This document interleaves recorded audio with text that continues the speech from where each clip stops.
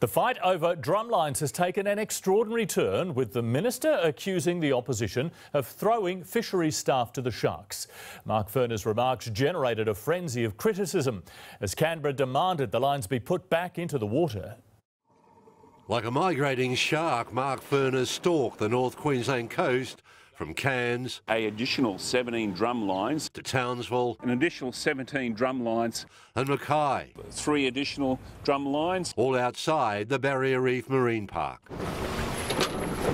A day after the federal court last week ruled sharks hooked inside the park had to be released, not destroyed, Mark Furner ordered 160 lines be removed from 27 beaches, saying it wasn't safe for staff and contractors, supposed experts, to handle live sharks. Putting them in a situation where they become shark food. The minister's putting up warning signs tearing down LNP calls for smart drum lines and to release them at sea. They are throwing our fishery staff to the sharks. First we had blood on our hands, and then we had feeding people to the sharks, and this Jaws soundtrack masquerading as government policy. It's also sparked a furious response from the federal minister who says the state should take immediate short-term action to protect the public.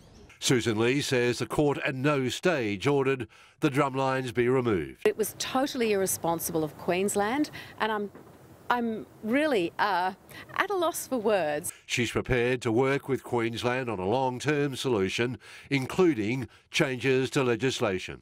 Put the drum lines back in, do something other than taking the drum lines out and leaving those beaches exposed. Lane Calcutt, 9 News.